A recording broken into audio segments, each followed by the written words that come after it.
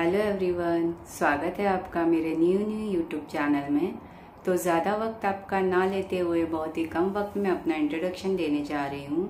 मेरा नाम है नम्रता, मैं एक हाउसवाइफ हूँ और मेरे दो बच्चे हैं, जिनका नाम है स्वरा और अथर्व। मेरी ये फैमिली के साथ साथ मेरी और एक फैमिली होने जा रही है मतलब कि आप सभी लोग। तो गाइज़ क्या आपको पता है मैंने मेरे चैनल का नाम दुबई जर्नी क्यों रखा? क्योंकि हम नए नए शिफ्ट हुए दुबई में।